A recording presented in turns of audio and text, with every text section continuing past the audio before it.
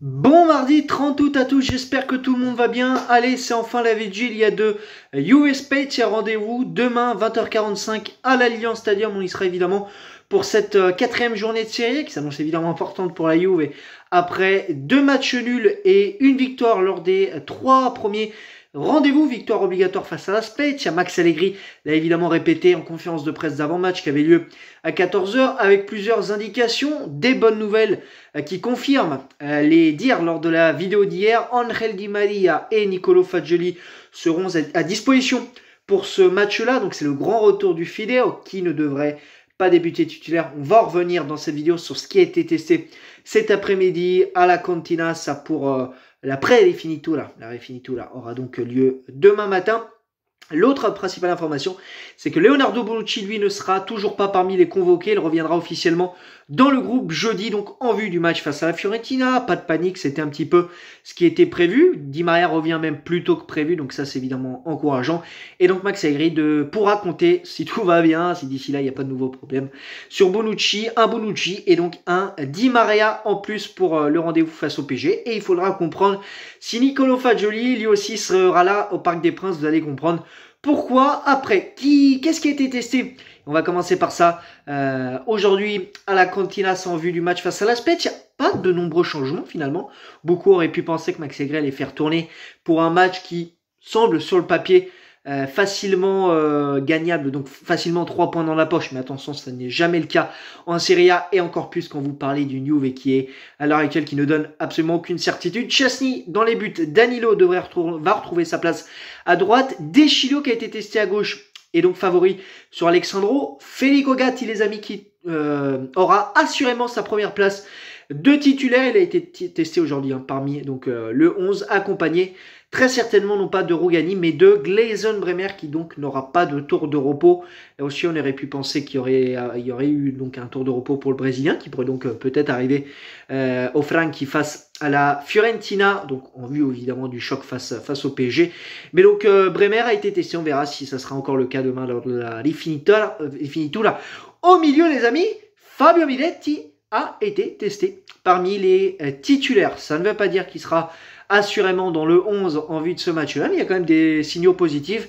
Il y a quand même de bonnes chances afin que le joueur formé euh, à la Juve soit donc parmi les, les 11 titulaires. On verra si Max Allegri euh, confirmera ce choix demain, mais ça, serait évidemment une bonne chose. Il mérite absolument d'être euh, titulaire. Il mérite absolument d'avoir euh, un autre match dans les jambes, trouver la quantité donc en vue de ce match face à la Spezia, au vu de ce qu'il a proposé face à la Roma qui était absolument flamboyant. Donc euh, content si Miletti euh, débute parmi les, titulaires avec le Catelli en position de legista et Adrien Rabiot à gauche, en attaque pas vraiment de surprise. Quadrado à droite, Vlaovic en pointe qui lui donc devrait lui aussi débuter titulaire. On verra si il y aura une surprise avec Arcadius Milik demain, alors il fini tout, mais ce n'était pas le cas aujourd'hui. Et à gauche, possible titularisation de Moiskin, on verra en tout cas s'il a aussi.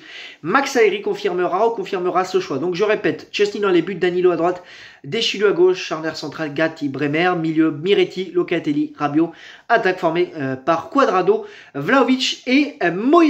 Voilà un petit peu euh, ce qu'on pouvait dire sur la première formation vue de ce match-là. Évidemment, toutes vos impressions dans les commentaires. Évidemment, la formation que vous aimeriez voir débuter à l'Alliance Stadium demain face à la Spezia. Un Max Aigri très sérieux en conférence de presse. On a l'habitude de le voir euh, avec le, sourire. Il a été assez focus. Plusieurs thèmes importants ont été affrontés, notamment euh, la confirmation. On l'avait annoncé lors des dernières heures. Nicolo Rovella va bel et bien aller du côté de Monza. Max Alleri l'a officiellement confirmé en conférence de presse. Euh, donc avec un choix partagé par la Società qui a décidé de faire donc de prendre cette décision. Pour Nicolo Fagioli, Max Alleri a gardé le suspense ou du moins il a été très clair. Il a dit mot pour mot, je pense que Fagioli restera euh, un des nôtres lors de ce mercato. On verra ce qui pourra se passer, puisque, euh, attention, peut-être que euh, joue aussi, fausse un petit peu le, jeu de cartes, qu'il y a le réel intérêt d'aller trouver un, temps de jeu pour Nicolo Fagioli. Il y a la Cremonese, et, il y a, pardon, la Samp, excusez-moi, la Samp qui a montré un gros gros intérêt. Il y a surtout ces paroles aujourd'hui d'Andra D'Amico, son agent, qui est habituellement un agent très cash dans les médias, qui a parlé au micro de, la RAI, qui a été très très cash au sujet donc des choix, qui euh, voilà, dit que euh, le rêve pour beaucoup de tifosistes est de revoir Fagioli comme tous les jeunes puisqu'ils ont montré des signaux importants, mais la Juve préfère se séparer de, jeunes au dépend d'avoir euh, la capacité de se séparer de joueurs qui bah, ont un salaire de 5-6 millions. C'est un avis évidemment que je partage totalement et qui est assez réel finalement, puisque croyez-moi, si la Juve avait la possibilité de se séparer d'Adrien Rabiot, si la Juve a eu la possibilité de se séparer de Denis Zakaria, si une offre intéressante arrivait pour West McKinney, bref, ce sont des discours que la Juve aurait agréablement traités et qui auraient derrière permis euh, à des jeunes comme, euh, bon, Miretti qui restera, mais Rovella, voire euh, Nicolo d'avoir plus de temps de jeu, donc pourquoi pas deux derrière, rester officiellement dans, dans le groupe. Donc, joli gros point d'interrogation, on verra ce qui pourra se passer. Mais donc, le départ euh, de Rovella, vous allez me dire dans les commentaires, confirme l'arrivée de Leandro Paredes, les amis. À ce jour, pour le moment, toujours pas d'accord total avec le Paris Saint-Germain. On verra ce qui pourra se passer. De toute façon, il y a plus, euh, y a plus, y a plus grand temps. Je veux dire, le temps presse. Euh, le mercato ferme jeudi, 1er septembre, c'est porte à, à, 20h. donc le temps presse, on verra ce qui pourra se passer. Aujourd'hui, il y a la conférence de presse d'avant-match de Christophe Galtier en vue de Paris Saint-Germain-Toulouse. Il a confirmé que Leandro Paredes ne sera pas de la partie puisqu'il a un accord avec la US. C'est ce que je vous disais sur ce canal depuis déjà, on va au, moins trois semaines, ce qui est donc réel, et il a la tête ailleurs, donc raison pour laquelle, mais pour le moment, il n'y a toujours pas cet accord définitif entre le club français et le club italien, mais l'optimiste reste total, on verra ce qui pourra se passer demain, bien évidemment. Restez euh, focus et activez la cloche sur ce canal, puisqu'on vivra s'il y a une arrivée de Leandro Paredes, on la vivra en direct de euh, l'aéroport de Cazel, évidemment au, au gym médical, vous connaissez toute la chanson. Ici c'est jeudi, même discours.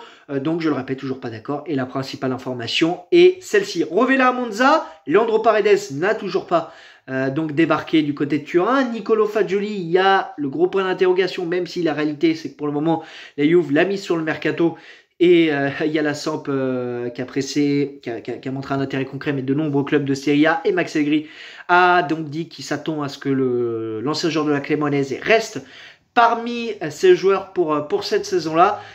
Ben, les amis, euh, il devrait pas se passer grand chose. On verra ce qui pourra réellement, euh, si quelque chose arrivera en attaque, en défense. Mais à il n'y a pas ce signaux. Tant la Juve, la priorité, je le répète, s'appelle Leandro Paredes. Et je le répète, il ne sera pas convoqué pour le match face à Toulouse avec le Paris Saint-Germain. Toutes vos impressions demain euh, sur la première formation qui pourrait débuter face à la Spezia. Je vous en remercie évidemment. Vous êtes toujours plus nombreux à me suivre, à lâcher les commentaires. Encore une fois, continuez, ça me ferait évidemment grand plaisir. On va vivre en tout cas les dernières heures de mercato sur ce canal, les 48 dernières heures. On va vivre évidemment Juve Spezia demain. Vous verrez, il y aura une belle surprise pour l'après-match. Ça sera sympathique d'avoir une personne que vous connaissez très certainement sur, sur ce canal. Donc bref, voilà. Match évidemment important. Demain, Max Allegri l'a confirmé, mais il n'y a pas grand doute. La Juve devra évidemment prendre 3 points face à la Spezia et rien d'autre. Toutes vos impressions dans les commentaires encore une fois. Merci à tous. Et moi, on se retrouve et je vous retrouve en tout cas demain pour le match day. Ciao, ciao.